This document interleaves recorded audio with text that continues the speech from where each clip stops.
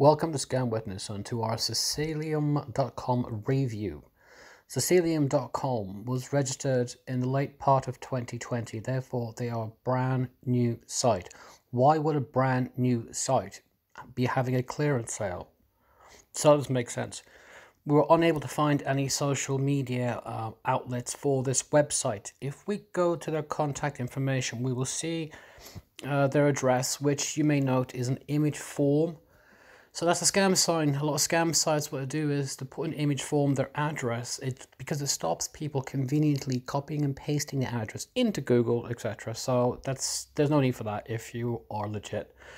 We've looked into Nova Silk Road SAR, uh, SARL, excuse me, and the address. And this address, if you Google it, it's landing on other websites. So there is absolutely no way that a legit um, online e e-store company is going to be using someone else's address. This is a huge scam sign.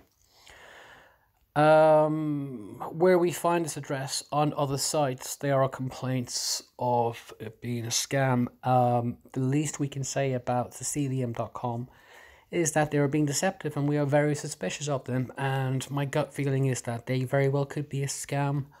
If you have a review regarding Ceceliam, feel free to leave it in the comments below to help inform others. Further, uh, feel welcome to like, comment, and subscribe for more. Thank you for clicking, and goodbye for now.